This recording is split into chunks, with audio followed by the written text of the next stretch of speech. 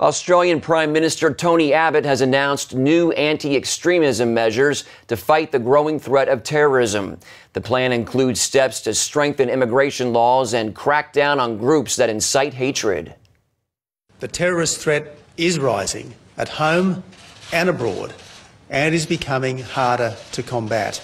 We cannot allow bad people to use our good nature against us.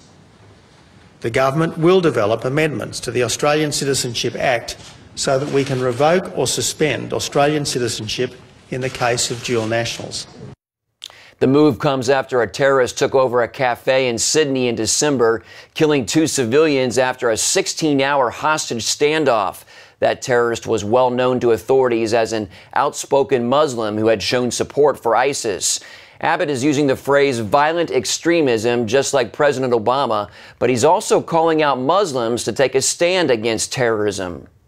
Now, I've often heard Western leaders describe Islam as a religion of peace.